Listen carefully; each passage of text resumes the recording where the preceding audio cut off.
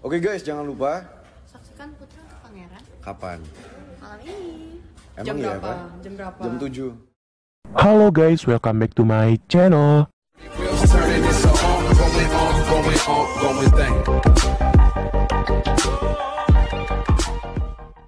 Sebelum kalian lanjut ke videonya, jangan lupa kalian like video ini sebanyak-banyaknya dan share video ini ya.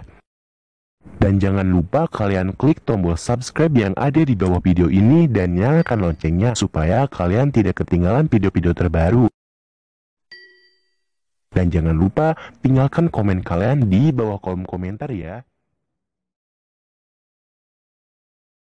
Sinetron terbaru Perel Bramasta akhirnya tayang di RCTI yang berjudul Putri untuk Pangeran.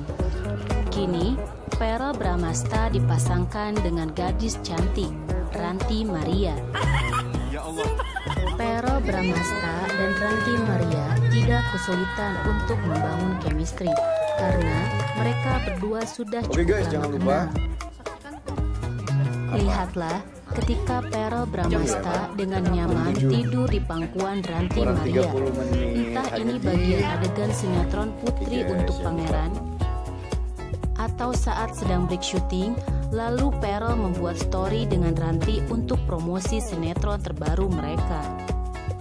Tak heran, dalam dunia sinetron, jika chemistry mereka cocok dan membuat baper penonton RCTI dan akhirnya akan dijodohkan di dunia nyata. Inilah keseruan para pemain Putri untuk Pangeran saat melakukan nonton bareng tayangan perdana sinetron terbaru mereka. Oke, kita mau nonton tayangan perdana. Juga Terlihat nonton mereka ya begitu antusias dan merasa senang. Di sinetron ini, Perel pun berkesempatan untuk akting bersama papahnya.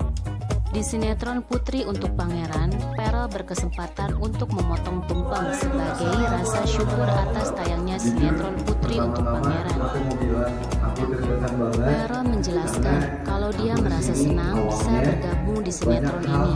Walaupun awalnya jujur deg-degan banget ke sini dan sempat ragu untuk bergabung bersama MNC Picture. Namun, banyak hal yang ingin Perel buktikan. Selain Perel Bramasta, Ranti Maria sebagai pemeran utama pun berkesempatan memotong tumpeng sebagai rasa syukur atas tayangnya sinetron Putri untuk Pangeran. Inilah potret kebersamaan Perel dan para pemain lainnya di acara nonton bareng Putri untuk Pangeran. Harapan para pemain Putri untuk Pangeran adalah berharap sinetronnya bisa diterima dengan baik oleh masyarakat.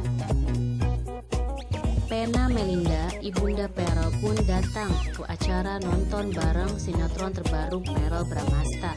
Terlihat Pena Melinda sangat rapi dan cantik setelah